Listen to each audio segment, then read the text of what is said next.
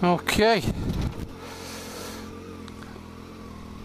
Okay, this is um this is a little I suppose they call them vlogs. I think they call them vlogs.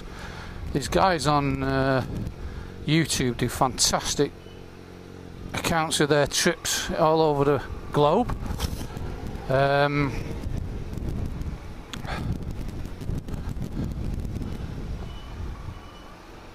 I don't know if I'm going the right way here. Yeah, all over the globe they do uh, these vlogs. I've never done one. Uh, I don't pronounce to uh, know what I'm doing. I don't know if it's pointing the right way. Well, it's, it's pointing the right way. Don't know if it's working or not. Um, I don't know if you can even hear this because don't know if the microphone's working. Oh, I've gone the wrong way.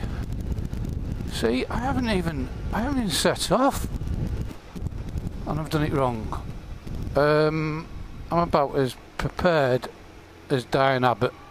I've got to go all the way around now, but nice view, nice view. Um, yeah, I better tell you where I am. I'm in Fréjus in the south of France. And uh, I've been here a few times actually over the years. A very nice place. Beautiful port area if ever you get down this way. Uh, very nice. The weather helps of course. So um, where I've just started from. Just come out of there. That was my apartment there. With secure uh, on Airbnb. It's brilliant. Secure parking though they never locked it up at night but it has got a gate um, yeah so this vlog thing so I've been down here for a few days now. I got the ferry from Plymouth to Santander last Sunday. Got me here for Monday morning. Done that journey a couple of times now. Uh, it was uneventful really in terms of the one I did last year in September, um, about past one in the morning, I was pitched right out my bunk because it was that rough. Um, but not this time, it was like a mill pond, it was great. The only little thing was, uh, I was one of the first bikes on, that's a massive mistake, don't do that again. Pitch up as late as you can because then you're first off.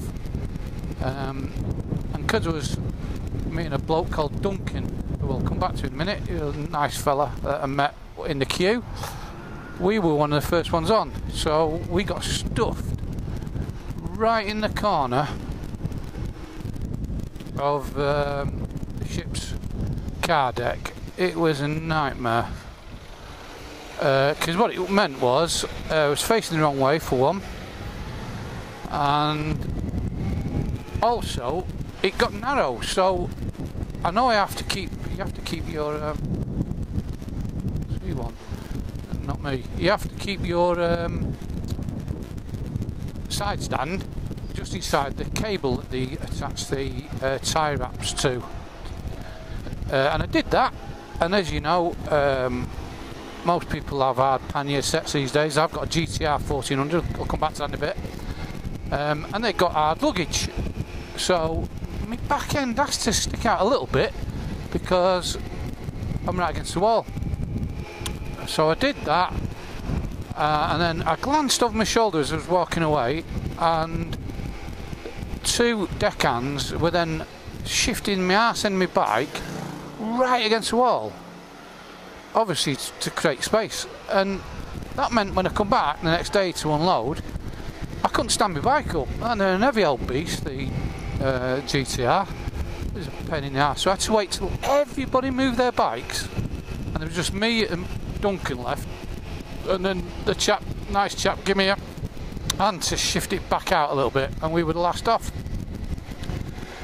Um, when I left my bike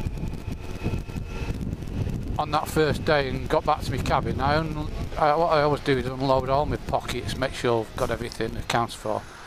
And sure enough, I hadn't. I uh, I'd lost my pannier keys.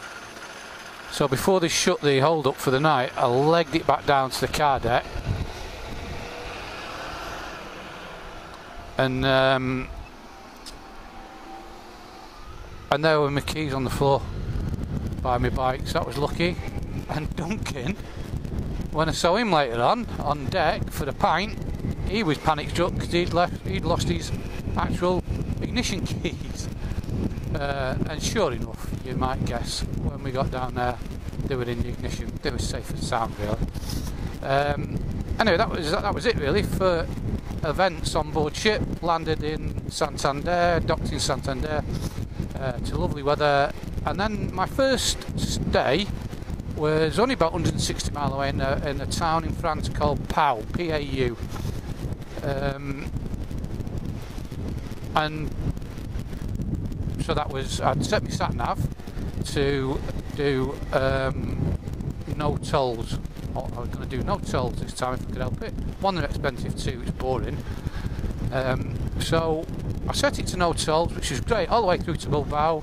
It was perfect. Uh, quick road, no tolls. And on to San Sebastian, where my love-hate relationship with a sat nav. Oh, you know, I can't live without them. Can't live with them. And he suddenly started sticking me on these roads, left, right, left, right, then turn round the, when you can, turn round when you can. Oh, it went, drove me nuts. It went ballistic. So, and it was red hot weather. What I did was um, I took stock while my blood pressure was rocketing, and I decided what I'd do get off and do what IT consultants say you do, uh, only they charge 80 quid an hour to say this, turn it off and turn it back on again. So that's what I did. And lo and behold, it sorted itself out and away we went. So eventually gets to Pau via a couple of beautiful uh, French villages along the way, stopped and had a little look around.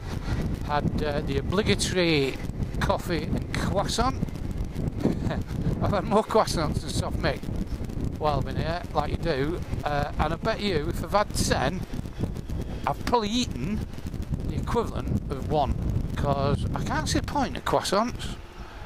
They, you, you get one that looks nice, looks like a, massive cashew nut in shape, doesn't it? And then you bite it and it explodes. It goes everywhere, and you're left with a little tiny bit between your finger and your forefinger and your thumb. And you pop that in your mouth, trying to look as cool as out, and you're covered in flakes of pastry. I, but it's obligatory. You've got to do it. You've got to do it. I, I didn't mind. I've got it shelling out nearly 12 quid or whatever the French ripped me off for. for um,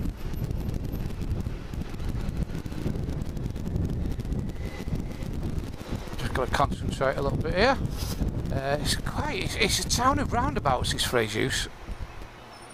A million and one of them. Um, but you can't go wrong, really. Oh, I was going to go that And they don't like indicating. Um, so yeah. So the old croissant thing. Get ripped off. Pay a load of money for it. Coffee that's about the size of a thimble. But you do it because that's what you do. So I've had loads of them and Pau was lovely. It was uh, really nice, got a lot of history, uh, had a nice hotel with a nice family, uh, made me very welcome, had a little walk around, had a quick cheeky beer and a kebab like you do, uh, and that was it, good night's sleep. Next day, about another 140 mile to a really nice place called Albi in France. Uh, quite a bit bigger this place. Uh, another nice hotel, and it genuinely did have nice, secure garage parking, indoor garage locked by a big steel door. Which then makes you wonder what sort of area it is, but it was alright. Uh, massive cathedral, amazing structure with a beautiful old town square with lots of higgledy-piggledy little avenues and streets with shops. I, I really enjoyed it. Uh, another cheeky beer, another kebab. You can tell how I go with this guy. French cuisine. Um, and then another great stop. So, where's the film from all this? You're probably asking.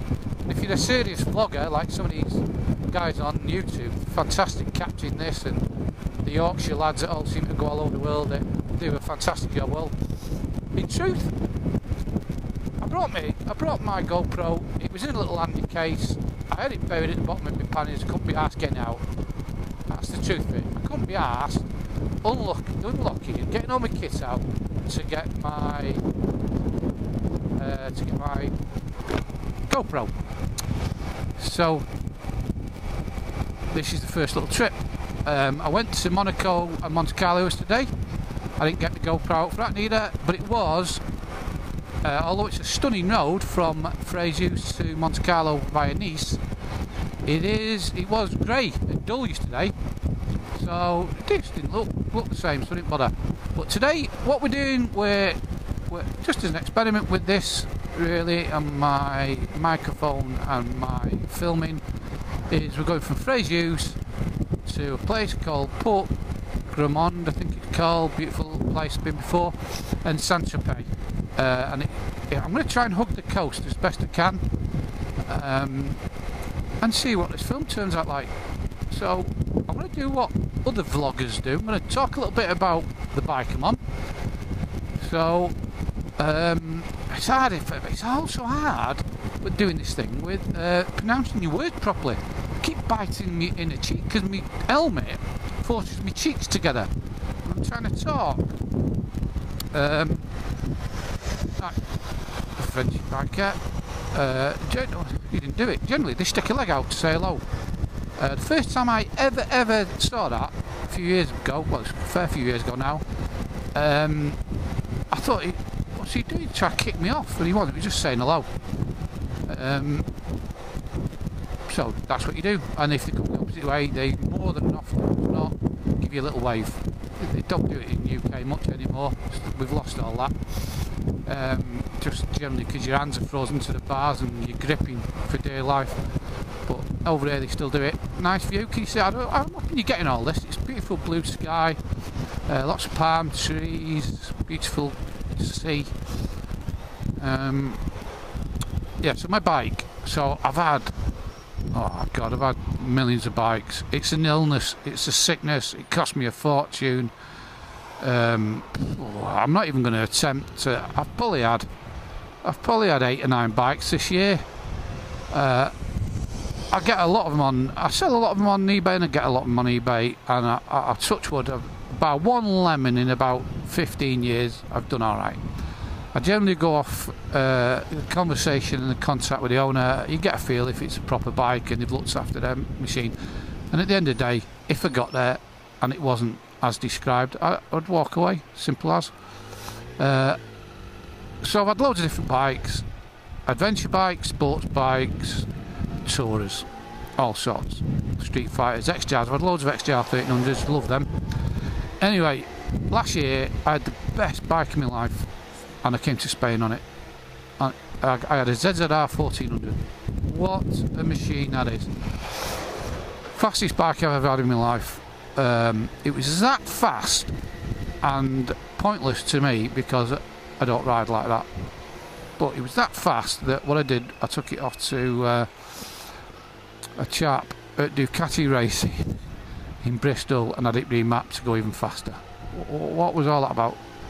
Cost me a few quid I've gone the wrong way again. I'm going to be turning back around in a minute. I'm trying to hug the coast for you.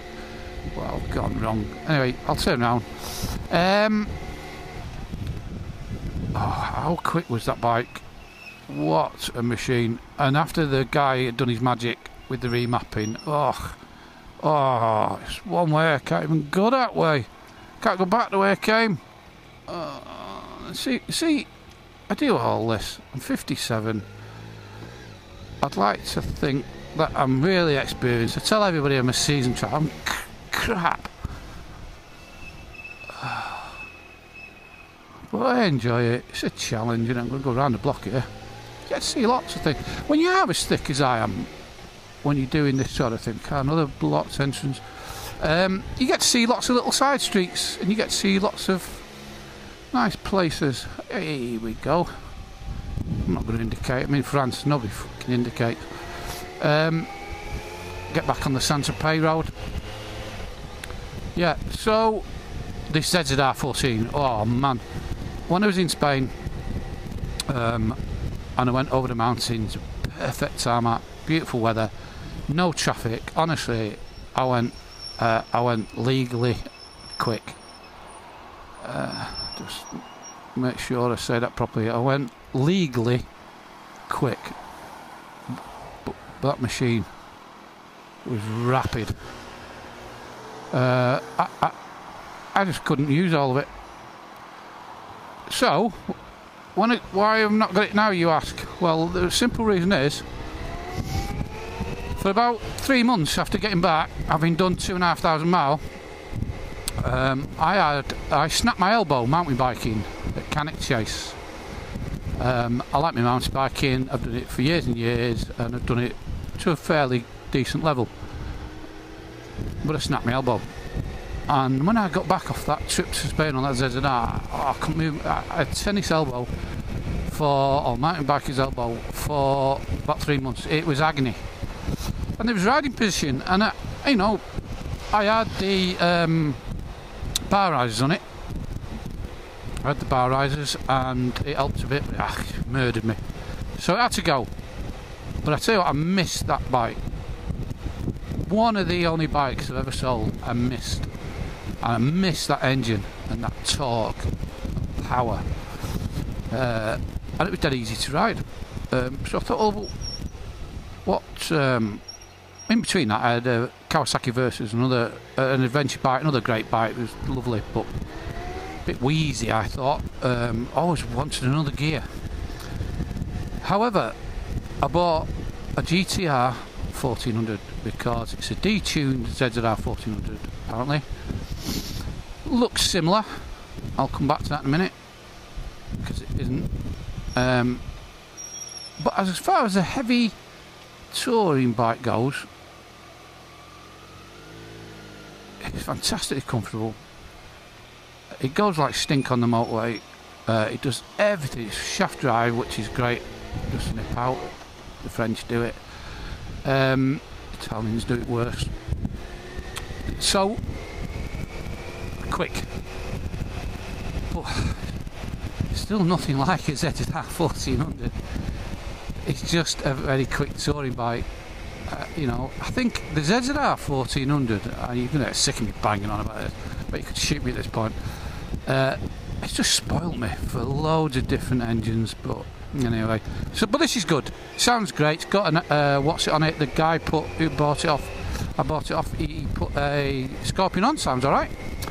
Uh, and he puts lots of little trick stuff on it and it's a lovely bike and I've really enjoyed it over here riding it whether I keep it when I get back don't know. Um, I like twins as well. I, have never had a Tuono I fancy a thumping noisy Tuono so when I get back if I decide that's it for going abroad on a bike and I don't know if I'm going to keep doing it I might get a Tuono anyway that's another story.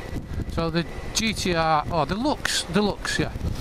So so the had last year the ZZR 1400 when you looked at it from the front oh man it looked like a shark. It looked like a great white shark. Fantastic looking thing.